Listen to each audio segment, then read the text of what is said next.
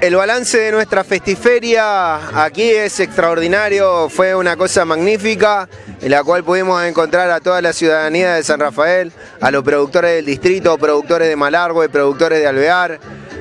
eh, artistas de todo tipo, artistas plásticos, artistas musicales de la mejor, de la mejor envergadura que lo hemos tenido aquí en nuestro escenario, proyectándonos a un año que viene, a un año que va a arrancar en el 2016, en esta temporada que ya se viene con la fruta, con la mejor temporada que tenemos aquí en el sur mendocino.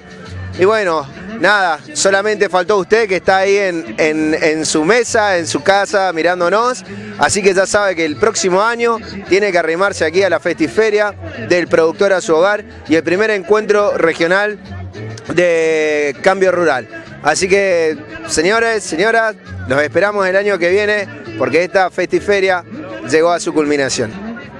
En todo esto también vale la pena destacar el apoyo fundamental del INTA en todo esto, el apoyo financiero y además el, protagonismo que está queriendo tener ellos con la agricultura familiar, apoyando todas estas eh, entidades intermedias como somos nosotros, la Feria de Arte e Integración, que es una asociación sin fines de lucro que trabaja para unir al productor y a la comunidad de San Rafael entera para poder ser una mejor comunidad dentro del marco del respeto y el amor.